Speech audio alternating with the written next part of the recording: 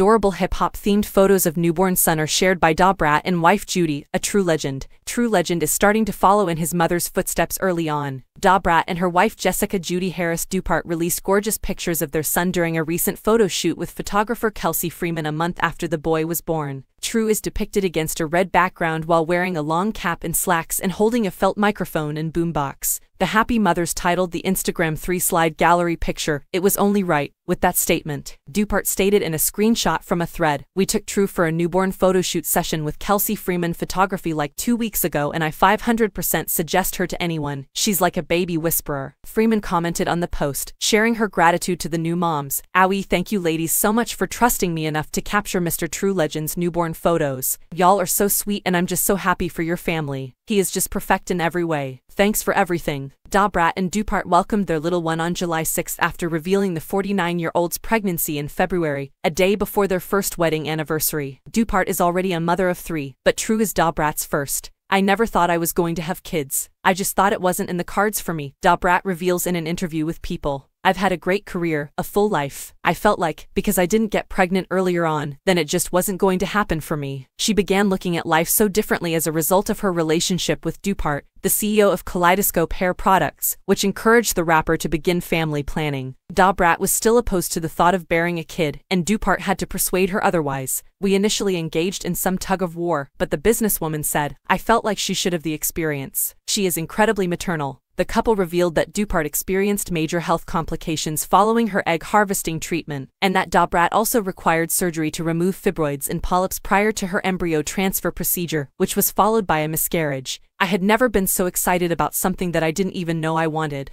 I fell in love with the idea and then it was all snatched away from me, Da Brat shares.